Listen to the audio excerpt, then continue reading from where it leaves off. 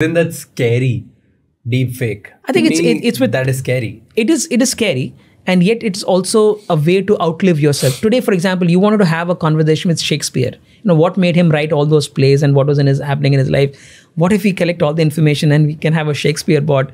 Uh, it's sort of interesting in some ways. It's bizarre and macabre in some ways. But i think um, if it is done with permission obviously it is okay the technology is moving so fast that it can happen without permission Exactly, right? Like, imagine that's what my concern is. Forget you and me, forget Shakespeare, right? Think about people who are right now at a position to influence at mass and they can actually move. Okay. And I'm talking about people, let's say, religious gurus, yes political leaders, Yes. right? There can be deep fakes on some vendetta and they can just come up with some random stuff and they can, you know, circulate that through WhatsApp. Yes. And it can have complications. It'll- it'll impact elections. If, if Prime Minister Modi, we have a deep fake, okay?